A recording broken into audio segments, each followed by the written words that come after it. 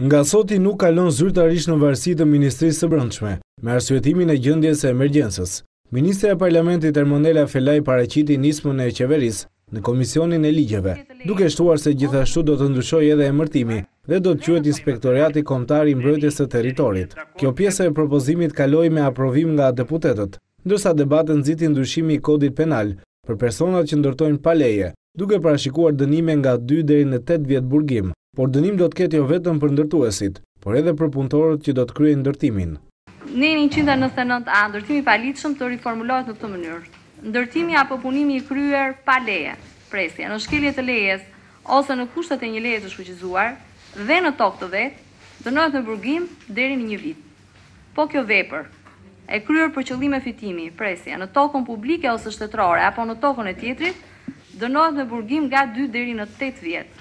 Por deputetët kundërshtuan masën e dënimit duke deklaruar se pasi ta miratojnë në parim, do të ndryshojnë disa nene.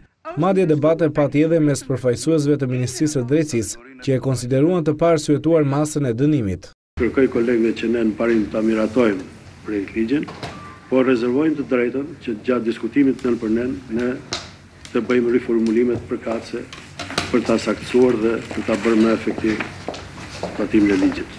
Ministria e Drejtësisë mbështet nismën, duke patur parasysh qëllimin e rëndësishëm që ajo mbart në vetvete, Por ka disa vërejtje dhe sugjerime në lidhje me përmbajtjen e kësaj dispozite që shtrohet për diskutim sot.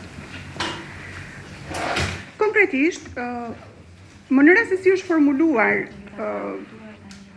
paragrafi i parë i nenit 2 të projektligjit të propozuar, përfshirja e togfjalëshit dhe në tokë të vet, në mendimin e Ministrisë Drejtësisë konsiderohet si i paqartë, dhe jo i vendosur në vendin e duhur. Pra, parashikimi nuk përfshin qartë objektin, anën objektive, Të lutem, a ka mundësi, të lutem, zonja ministre, mi pra mirë, dakord pra nuk ta kam dhënë unë fjalën.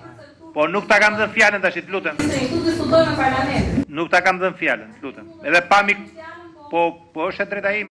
Por ndryshimet nga ky ligj i konsideruar i përkohshëm, prekin edhe ata që kanë ndërtuar me leje, ku nëse Inspektorati çon në gjykatë një ndërtim të caktuar se është ndërtuar në shkelje të rregullave të urbanistikës dhe gjykata i jep të drejtë Inspektoriatit, atëherë ka mundësinë që ta prishë godinën.